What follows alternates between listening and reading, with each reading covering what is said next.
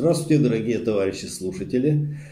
Сегодня, в преддверии Нового года, мы хотим вам предложить э, тему, которую назвали «Проявление троцкизма, с которыми боролся Владимир Ильич Ленин».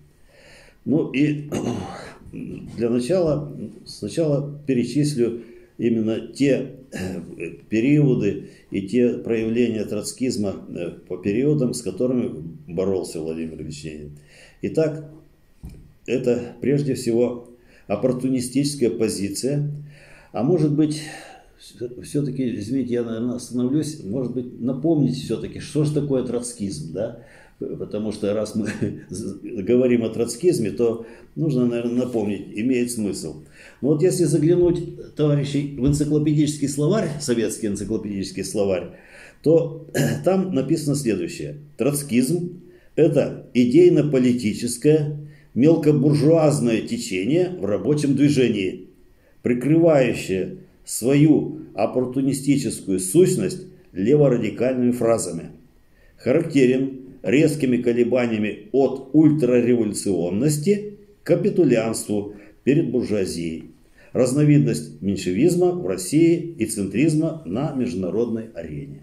То есть, что троцкизм – это мелкобуржуазное течение в рабочем движении. Вот суть ее. Ну и, соответственно, ну, может быть, кому-то покажется, что вроде как это уже понятие могло и устареть, что современный троцкизм мог и измениться, потому что это э, еще с тех пор, с советских времен. Ну вот есть известный марксист, современник Сапрыкин Владимир Александрович.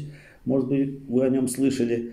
Он так характеризует троцкизм. Это уже вот в 21 веке он давал характеристику. Троцкизм – это мелкобуржуазное, революционаристское э, политическое течение, отстаивающее идею перманентной революции – ее экспорта на международной арене. По своей идейной и политической направленности троцкизм – это левый оппортунизм, выступающий за э, сверх, э, эмоци,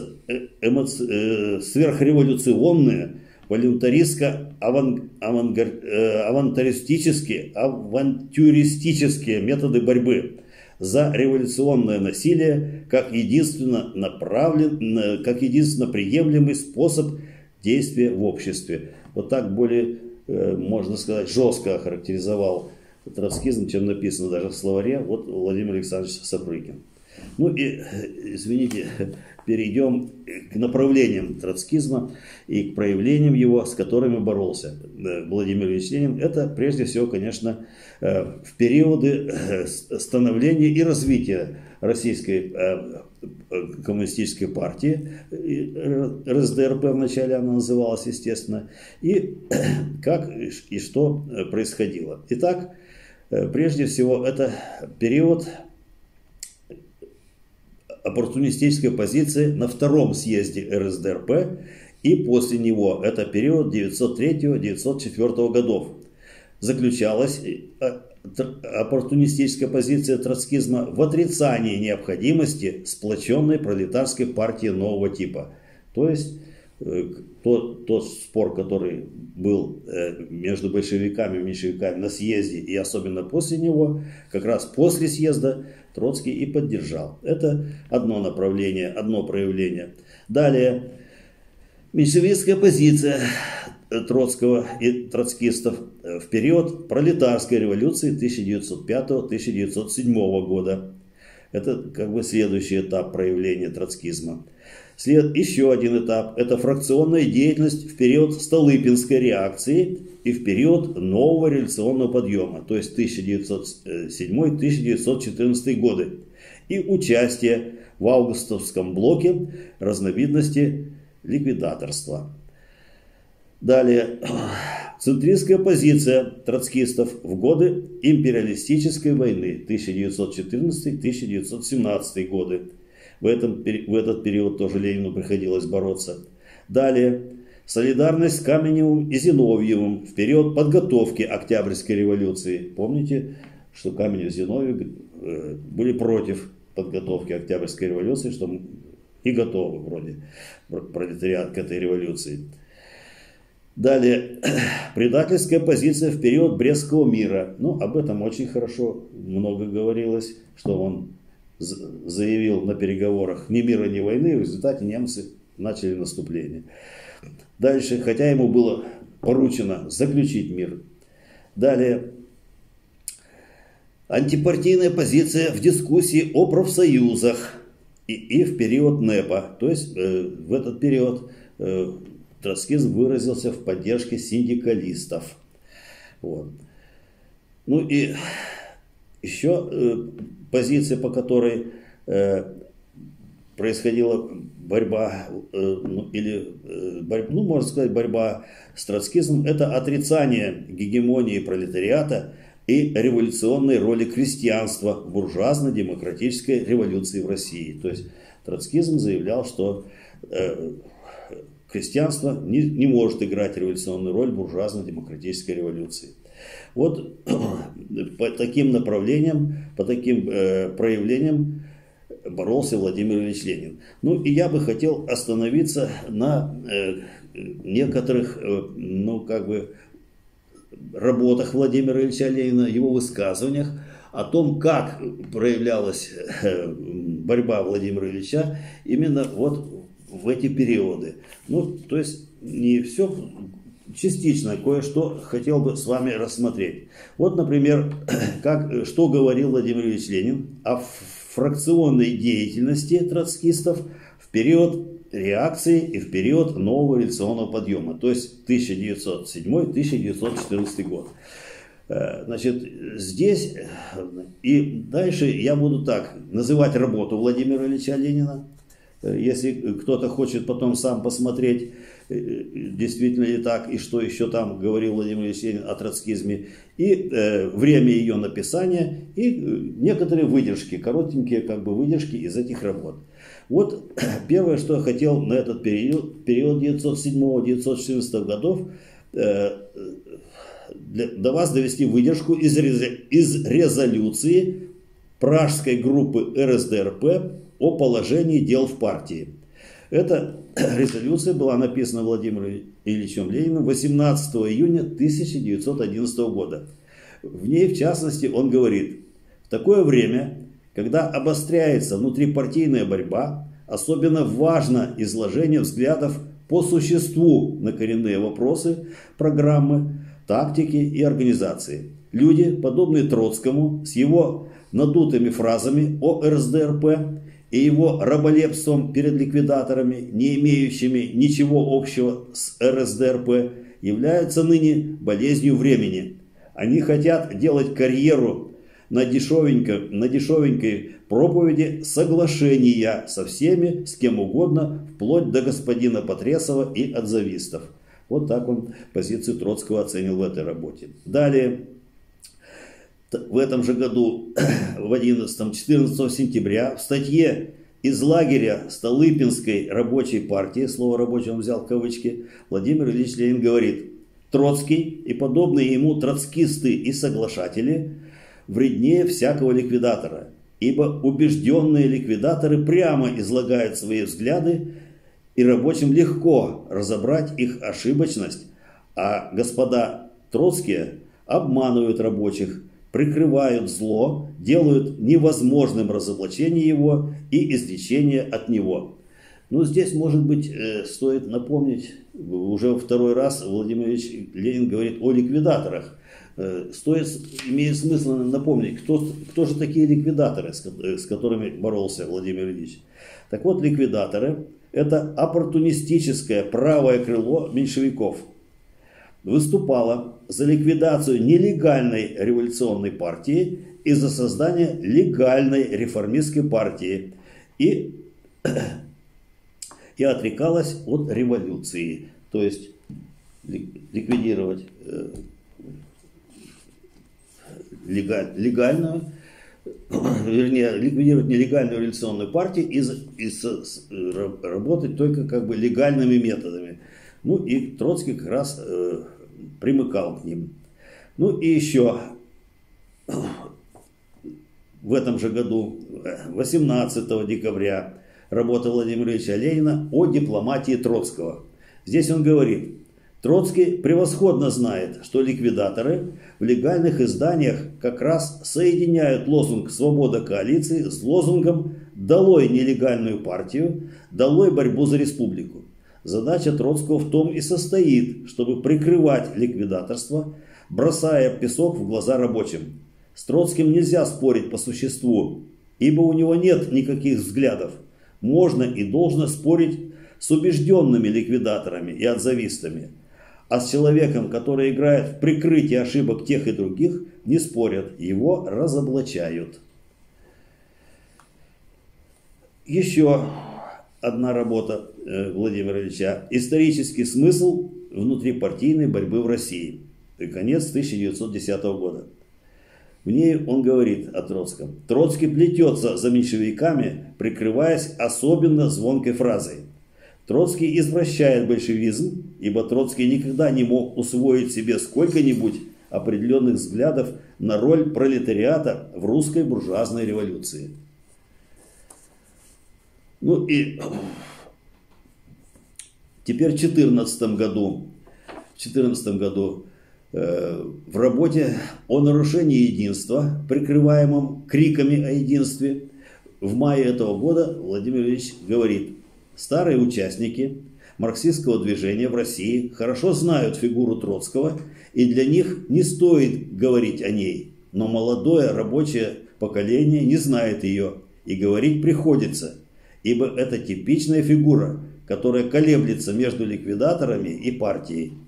Троцкий был ярым искровцем в 1901-1903 годах, и Рязанов называл его роль на съезде 1903 года ролью ленинской дубинки. В конце 1903 года Троцкий – ярый меньшевик, то есть от искровцев, перебежавший к экономистам. В 1904-1905 году он отходит от меньшевиков и занимает колеблющееся положение, то сотрудничая с Мартыновым с экономистом, то провозглашая несуразно левую перманентную революцию. В 1906-1907 году он подходит к большевикам и заявляет себя солидарным с Розой Люксембург. В эпоху распада, после долгих нефракционных колебаний, он опять идет вправо и в августе 1912 года входит в блок с ликвидаторами, то есть августовский блок. Теперь опять отходит от них, повторяя, однако, по сути дела, их же идейки. Ну и еще одну работу из этого периода периода реакции и э, э, ну, как бы восстановления нового революционного подъема. Еще одна работа – это о праве нации на самоопределение, которая написана в мае 1914 года, как известно. Здесь он говорит, никогда еще ни по одному серьезному вопросу марксизма Троцкий не имел прочных мнений всегда пролезая в щель тех или иных разногласий и перебегая от одной стороны к другой. В данный момент он находится в компании бундовцев и ликвидаторов, ну а эти господа с, пар... с партией не церемонятся. Вот так он характеризовал позицию в период уже революционного подъема. Далее, я бы хотел э, довести до вас еще так, такую мысль, что Э, как относился Владимир Ильич Ленин к Троцкому и троцкистам э, в период Первой мировой войны, то есть 1914-1917 года. В этот период Троцкий, как правило, ну не как правило, а фактически занимал центристскую позицию, ну и, соответственно, с этой позиции Владимир Ильич Ленин тоже пытался бороться. Ну и вот хочу привести выдержку из работы Владимира Ильича о поражении своего правительства в империалистической войне, которую он написал в июле 1915 года. Там он говорит, революционный класс в реакционной войне не может не желать поражения своему правительству. Это аксиома, и оспаривают ее только сознательные сторонники или беспомощные прислужники социал-шовинистов. К числу вторых принадлежит Троцкий. Желание поражения России, пишет Троцкий, есть ничем не вызываемая и ничем не оправдываемая, не оправдываемая уступка политической методологии социал-патриотизма. Отделываясь фразами, Троцкий запутался в трех соснах. Ему кажется, что желать поражения России значит желать победы Германии. И в этом Троцкий видит методологию социал-патриотизма. Чтобы помочь людям, не умеющим думать, Бернс, Бернская резолюция пояснила, во всех империалистических странах пролетариат должен теперь желать поражения своему правительству. Троцкий предпочел обойти эту истину. И еще в одной работе о троцкизме в этот период, период Первой мировой войны, это работа «Социализм и война», которая была написана в июле-августе 1915 года. В ней Владимир Ильич говорит, каутскианство не случайность, а социальный продукт противоречий второго интернационала. Соединение верности марксизму на словах и подчинение оппортунизму на деле. В разных странах эта основная фальшь каутскианства проявляется в разных формах. Отвергая идею защиты Отечества, отстаивает единство с партией оппортунистов. В России Троцкий также, отвергая эту идею, равным образом отстаивает единство с оппортунистической и шовинистской группой нашей зари. Вот что касается периода Первой мировой войны, борьбы с троцкизмом. Теперь э, несколько мыслей Владимира Ильича о периоде отрицания революционной роли крестьянства в буржуазно-демократической революции. Здесь я хочу остановиться на работе Владимира Ильича о двух линиях революции. Эта работа была написана в ноябре 1915 года. Здесь он говорит, выяснить соотношение классов предстоящей революции – главная задача революционной партии.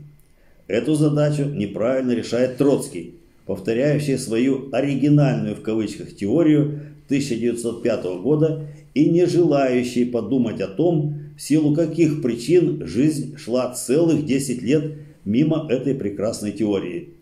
Оригинальная теория Троцкого берет у большевиков призыв к решительной революционной борьбе пролетариата и к завоеванию им политической власти, а у меньшевиков – отрицание роли крестьянства. Крестьянство, где расслоилось, дифференцировалось, его возможная роль все убывала. Это он приводит мысль Троцкого здесь, Владимир Ильич. И говорит далее, до каких пределов доходит путаница у Троцкого, видно из его фразы, что решительностью пролетариат увлечет и не пролетарские народные массы. Троцкий не подумал, что если пролетариат увлечет непролетарские массы деревни на конфискацию помещичьих земель и свергнет монархию, то это и будет завершением национальной буржуазной революции в России – это и будет революционно-демократическая диктатура пролетариата и крестьянства.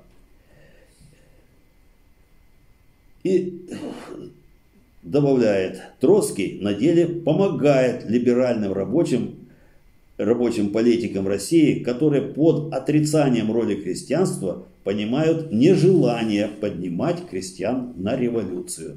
Вот так о роли крестьянства в революции Э, говорит Владимир Ильич Ленин.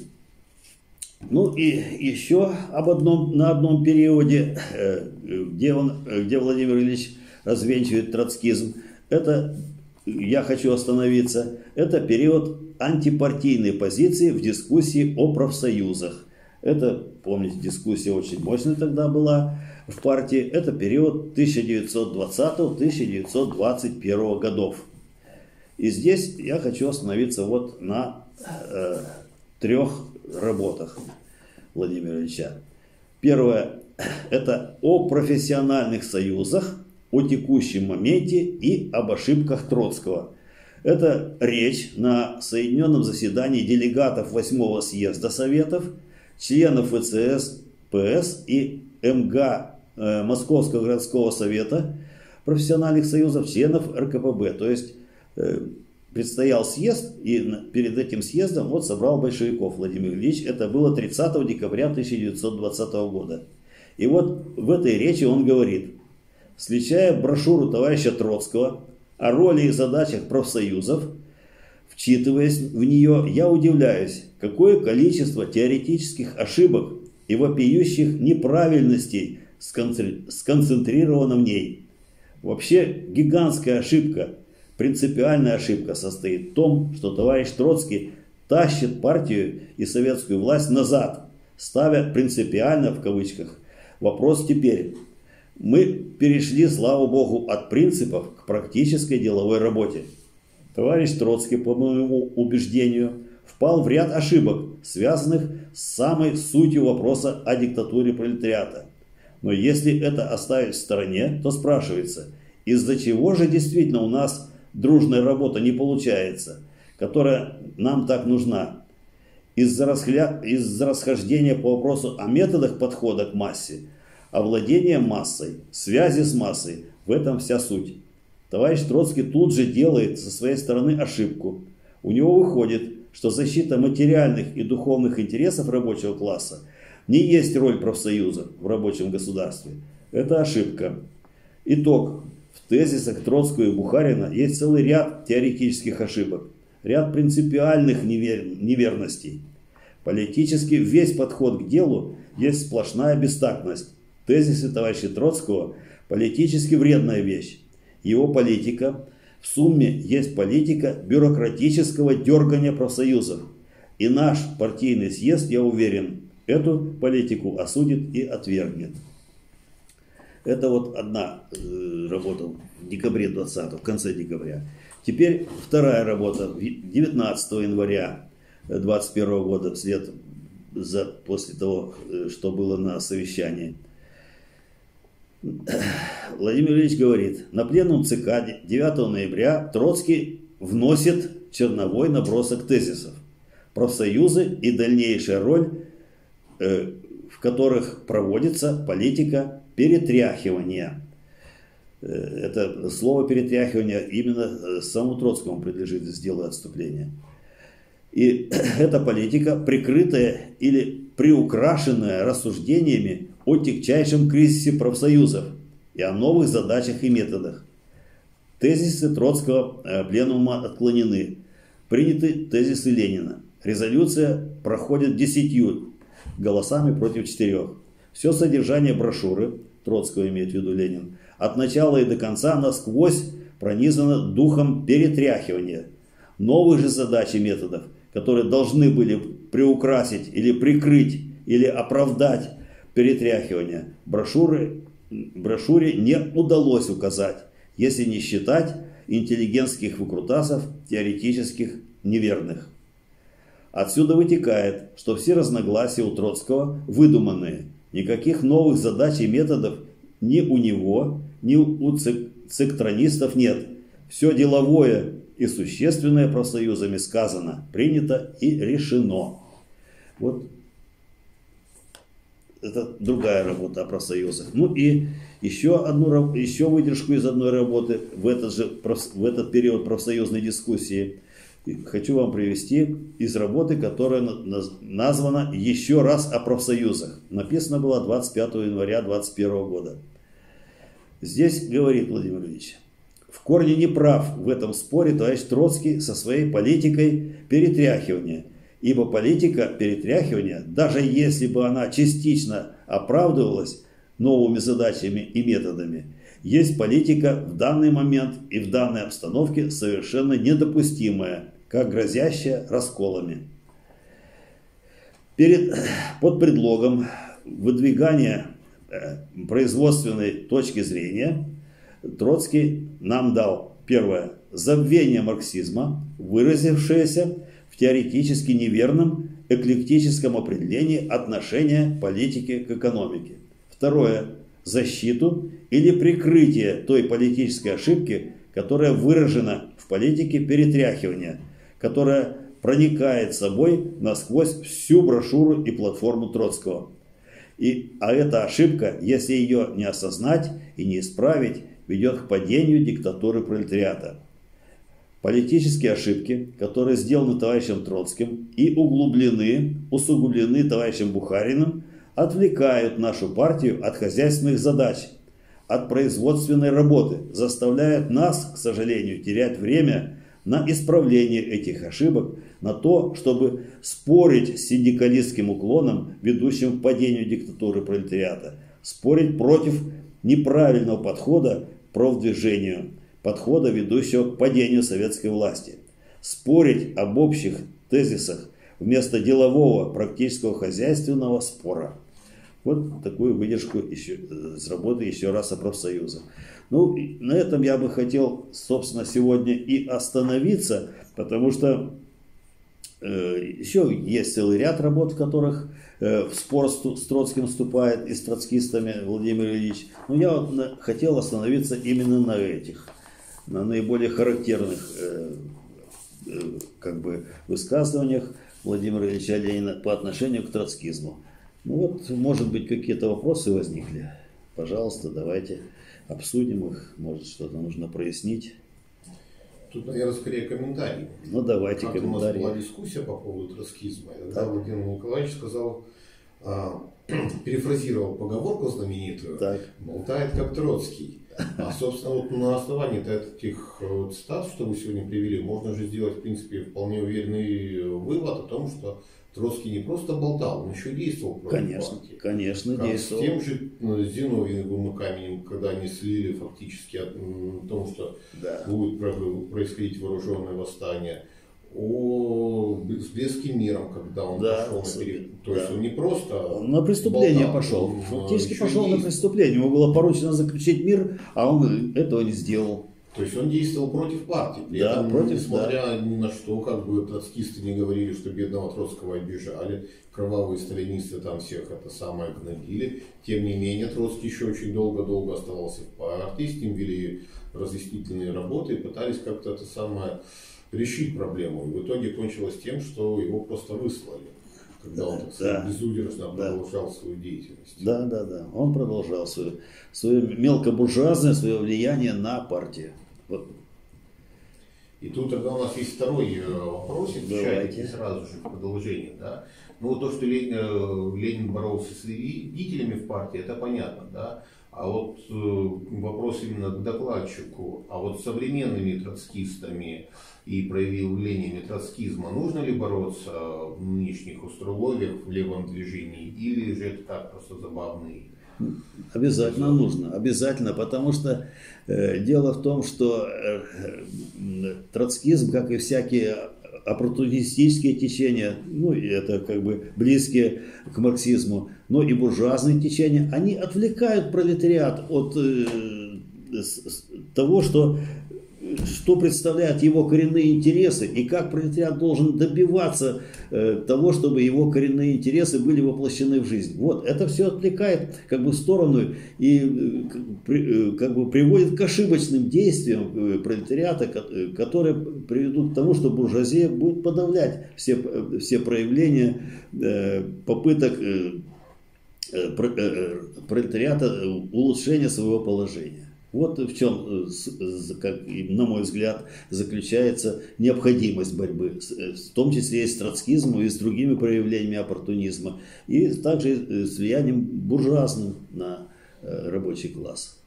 А вам не кажется, что часть буржуазии взяла троцкизм на, так сказать, Конечно, она будет его поддерживать. Для борьбы с настоящим... Конечно, и не только троцкизм, а любой оппортунизм. Вот. И то, что э, было заявлено о том, что э, вроде как элементная революция исчерпана, это тоже власти очень даже понравилось. Вот, и что, не надо никаких больше социалистических революций. Мы в парламенте ну, победим, мы когда-нибудь в парламенте победим буржуазным, хотя... все-таки не это самое, не троцкизм, у тебя как раз перманентная революция. Да. Плюс, но... опять же, ну, фраза немножко из контекста-то вырвана. В смысле? Нет, перманентная революция, это, это дело в том, что э, это взгляд Троцкого э, понимания от само понятие перманентной революции было введено еще Марксом. Вот. А уже Троцкий извратил это понятие э, в, как бы, в свое мелкобуржуазное понимание. Вот. Могу привести, как бы, если это интересно, могу как бы, ну, также привести э, марксистское понимание э, троцкистского, троцкистской перманентной революции. Могу привести это, как, что, как марксизм понимает это если ну, это интересно. Если так, ну, сможете на память? Нет, не на память, у меня есть, я сейчас могу рассказать. А, вот самое интересное на потом оставить. Нет, ну почему? Просто я не думал, что... Значит, вот что, что такое перманентная революция? Что это за понятие? Это тоже из энциклопедического словаря. Непри... Перманентная революция – это непрерывная революция.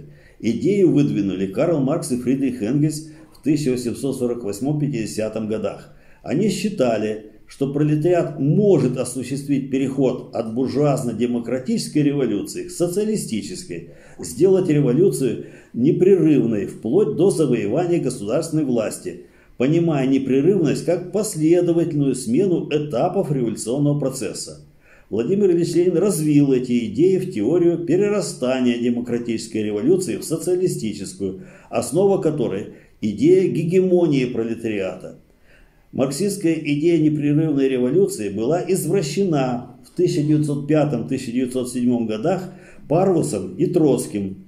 В их теории перманентной революции отрицался буржуазно-демократический характер революции. Не признавалась революционная роль крестьянства как союзника пролетариата. Выдвигалась идея непосредственного перехода к социалистической революции, минуя буржуазно-демократическую, ну, естественно, от феодализма, извините, что отвлекаюсь. Судьба социалистической в каждой стране связывалась, по мнению Троцкого, э, с внешними факторами, с мировой революцией. Отвергалась ленинская теория о возможности победы социализма в одной стране, первоначально в одной стране. Выдвигалась антимарксистская идея искусственного подталкивания, подталкивания революции извне, ее экспорта. Вот как извратил Троцкий э, это понятие перманентной революции. Вот что э, могу по этому поводу вам сказать.